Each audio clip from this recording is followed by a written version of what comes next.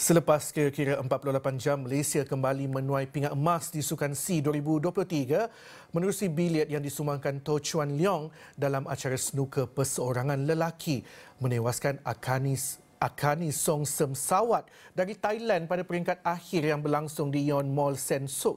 Chuan Leong meraih emas selepas 8 tahun iaitu kali terakhir dimenanginya pada edisi 2015 di Singapura.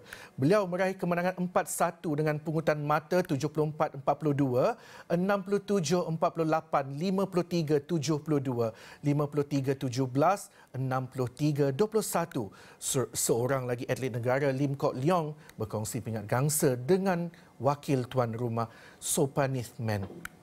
Jangan itu sekaligus menyaksikan sasaran dua emas yang ditetapkan Persekutuan Snooker dan Bilet Malaysia pada temasya ini tercapai selepas Moh Kin Ho menyumbangkan emas pertama Camp Snooker negara dalam acara enam red individu selasa lalu. Chuan Leong kini memiliki keseluruhan lima emas sukan C selepas mengungguli acara berpasangan lelaki pada edisi 2011 di Palembang, Indonesia dan 2015 di Singapura selain acara enam red perseorangan pada edisi 2013 di Myanmar.